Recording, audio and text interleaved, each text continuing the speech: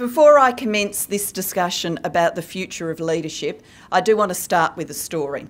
A young would be politician in her mid 40s agrees to do a profile piece with an Australian magazine.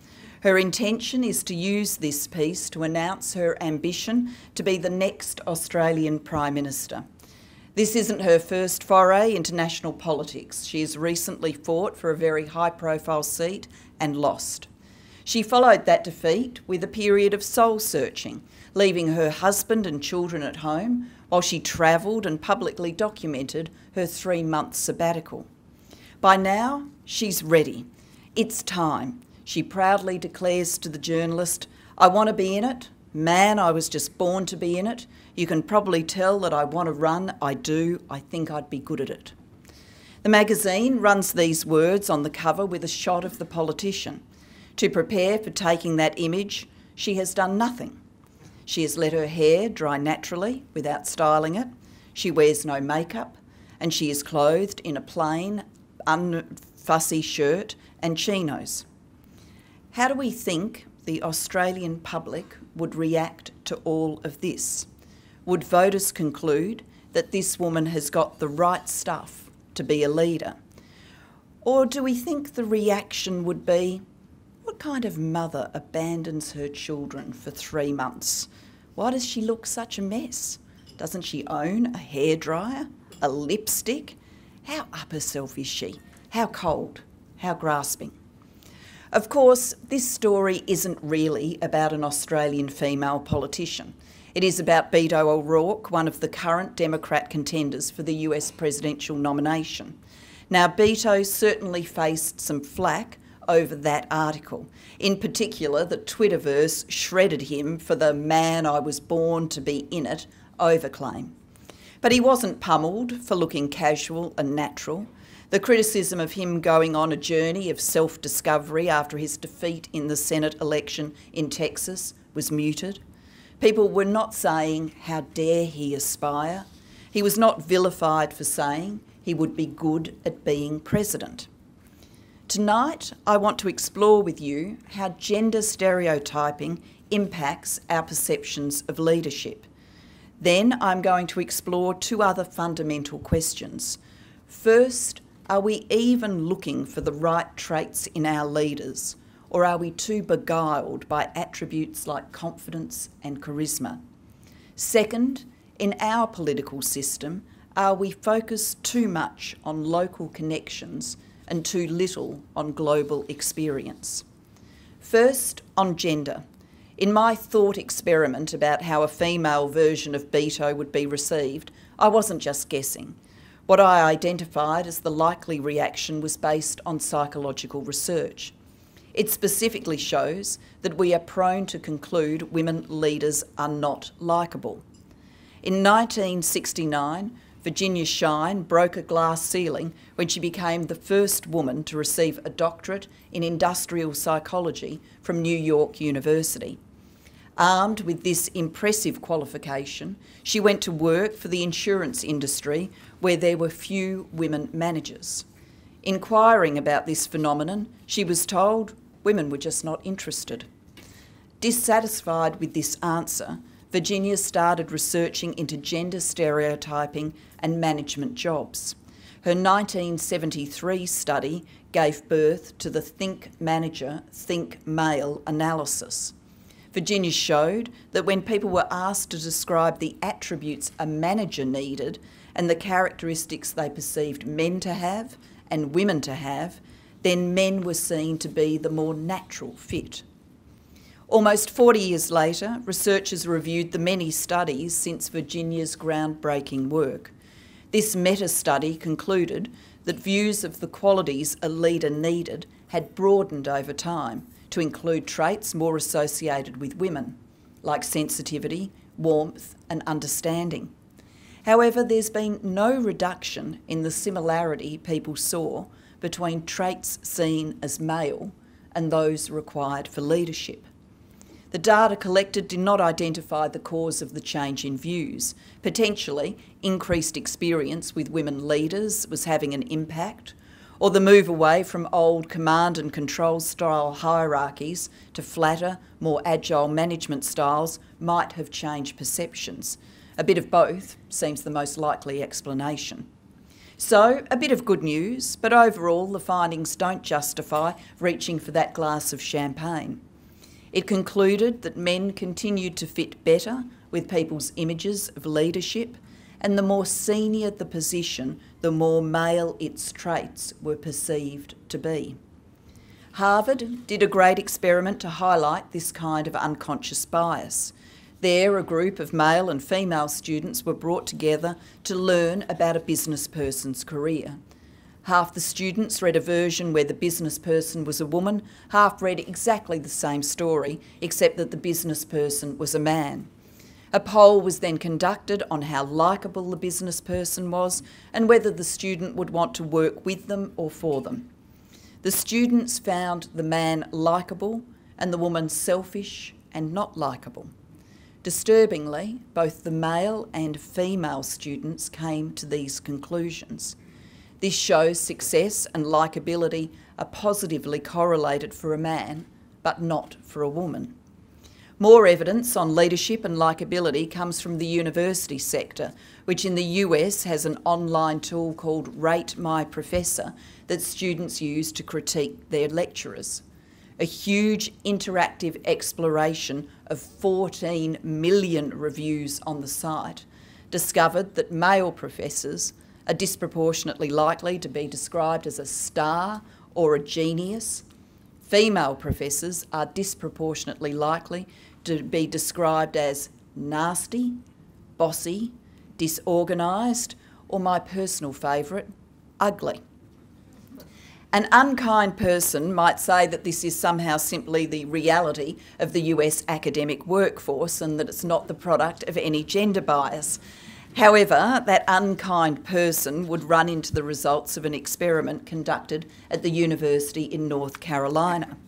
Their researchers asked students to rate teachers of an online course.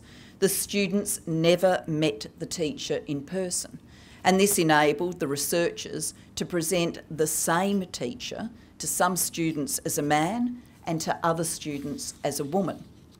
Disturbingly, when students were taking the class from someone they believed to be male, they rated the teacher more highly. The very same teacher when believed to be female, was rated significantly lower.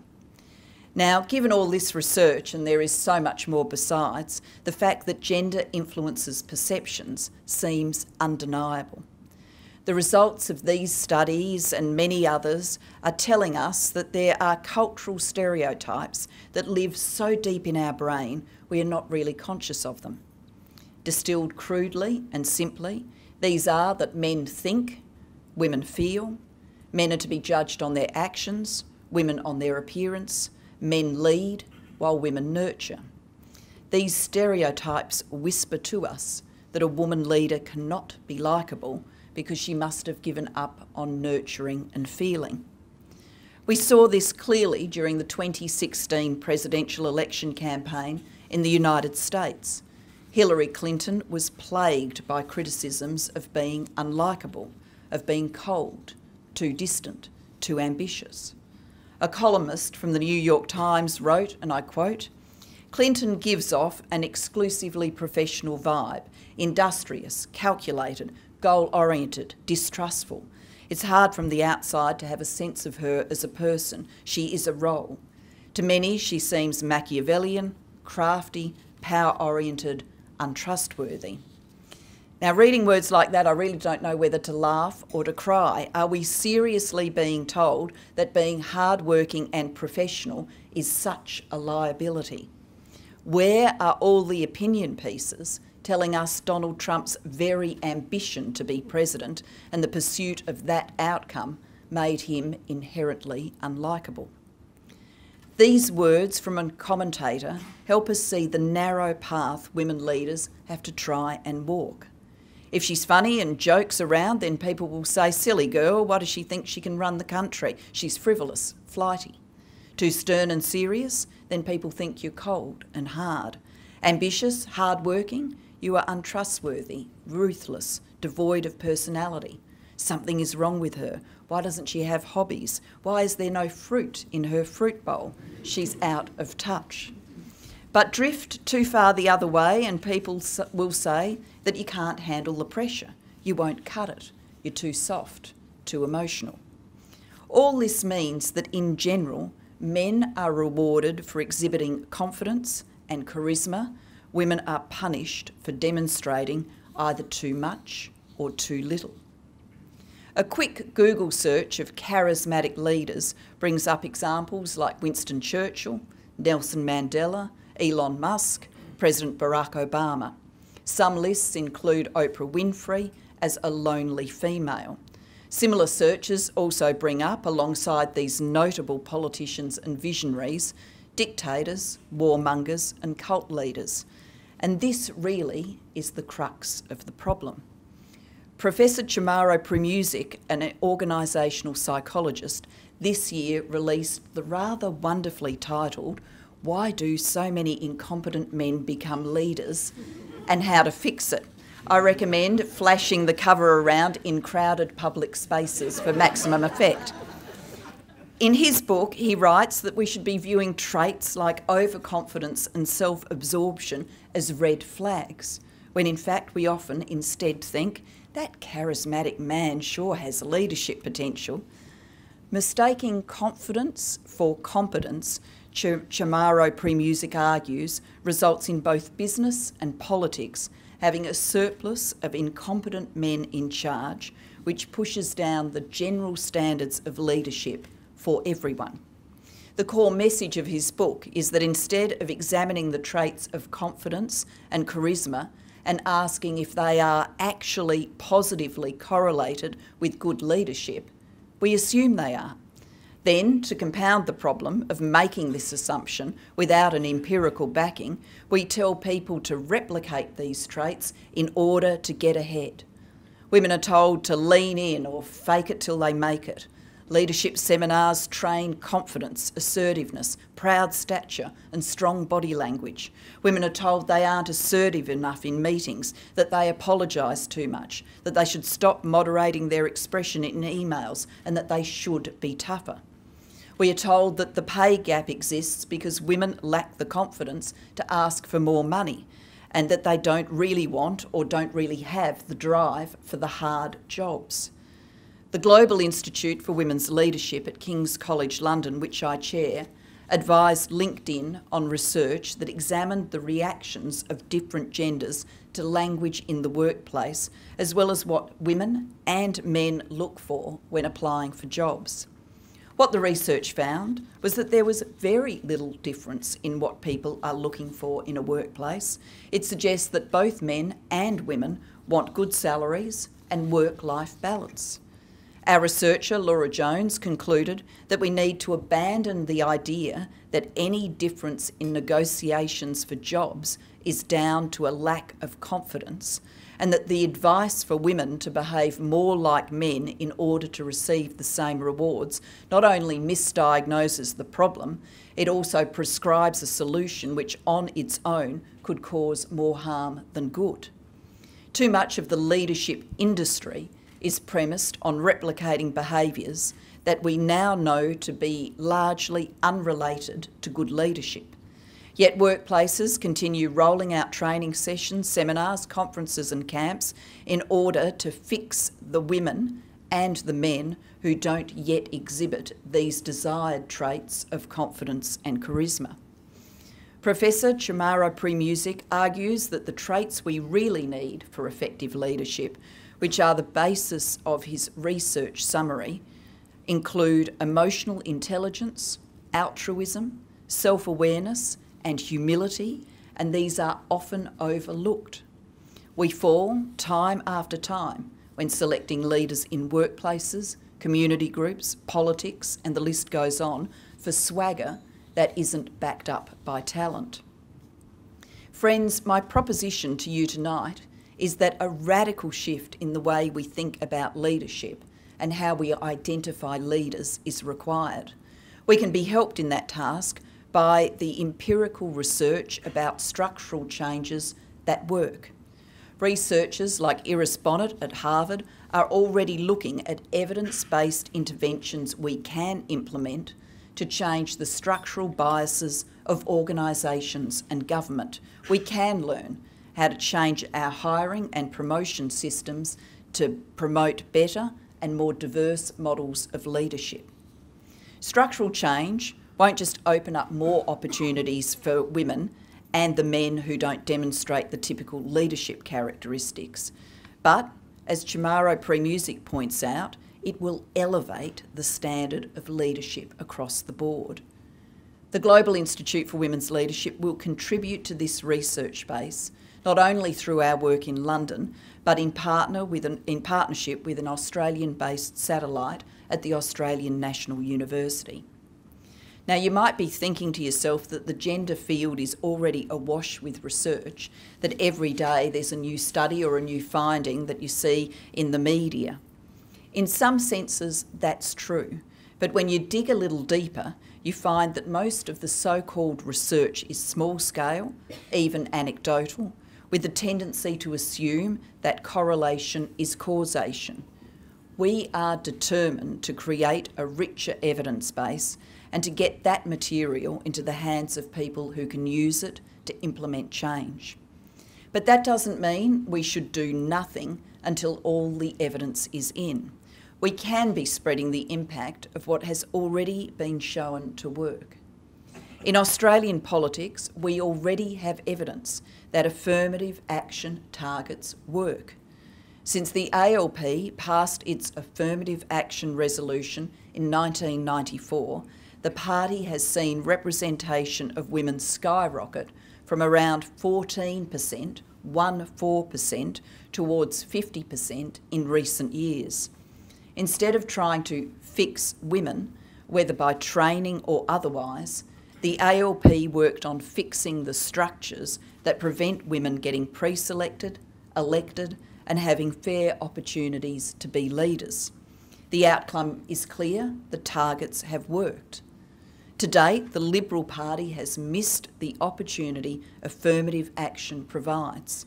It's time for the Liberal Party to act on this and better promote merit by fairly including women. Today, I have primarily spoken about gender. I can't do it justice in the time I have allocated to speak, but I also acknowledge that there is a much broader discussion to be had about diversity and leadership. Earlier this week, I had the pleasure of launching a report by this year's Emily's List Julia Gillard Next Generation Intern. Yes, it's named after me. The research by Stephanie Milioni provided insightful, evidence based recommendations for increasing ethnic diversity in Australian politics, right from the decision to run for Parliament through to pre selection, campaigning, and career support. Having political leadership that truly represents multicultural Australia and gender equality are both vitally important. Now, in arguing for more diversity, I do not want you to conclude I am lending my voice to the regular cry in the media that there are too many political staffers or union officials in Parliament. Few occupations enable a person to learn more about the stresses and strains that come with being a representative of the people than working in a trade union. I also do not see why it is to be held against political representatives that prior to being elected they learned the ropes as a staffer. In any event, these media stories usually overlook the fact that being a union official or a political staffer is only part of the newly elected member's CV. So I'm opposed to this kind of commentator bias against certain sorts of work experience in Australia. But a kind of quite different issue about work and life experiences before Parliament does concern me. All political parties put a premium on pre-selection candidates having paid their political dues through party involvement or by being deeply engaged in the life of a local electorate or both. For example, people get known because they become involved in the party and get themselves elected to state or national conferences or policy or administrative committees. In addition, they can stand out because they are so clearly a credentialed local representative, involved in everything from school council to neighbourhood watch to the local chamber of commerce to local government to grassroots sport. Historically, these ways of individuals standing out as potential candidates have generally been good enough. Both political parties, from time to time, have reached outside of this class of candidates to laterally recruit a high calibre, well known Australian. Labor did this with Peter Garrett, for example. But at core, pre selection systems have been biased to those who live and work in Australia, paying their political dues or working locally or both. However, now is the right time to ask whether this approach is fit for purpose in today's world, where it is more and more common for talented Australians to live and work overseas for a substantial period of time. Think of the many people you know who, post the completion of their education, spend 10, 15, even 20 years working overseas. What often brings them back is family reasons, like aged parents or children being of high school age, and their desire for their offspring to have that experience in Australia. Of course, some do not come back at all. How do we create pre selection systems that put a fair value on this global experience, which necessarily precludes the local paying of political dues or involvement in on the ground community matters? When will we see political parties laterally recruiting global figures, inviting them to move directly from New York, London, Shanghai, or Nairobi straight onto the candidate slate? I do not have the answers to those questions, but believe we must find them. Otherwise, we risk excluding from our politics an increasing number of the best, brightest, and most equipped Australians to help our nation navigate this globalised era. Please note that the we, the word we in that sentence, the people who, in my view, must search for answers to these questions are both those in political parties and the Australian community generally. There is some evidence that Australians prefer a local as their Member of Parliament. Unless Australian voters value global experience, it will be hard for political parties to do so. To conclude, tonight I am inviting you to be participants in a wide ranging discussion about what leadership is, how we value diversity, and how we embrace a global search for talent in our political system. However, in addition to joining that conversation, I am also urging all of us to action especially to personally examining our own biases when we assess leadership potential. I thank you for your time and your kind attention, and with a sense of trepidation in some ways, I'm looking forward to Martin's reply. Thank you very much.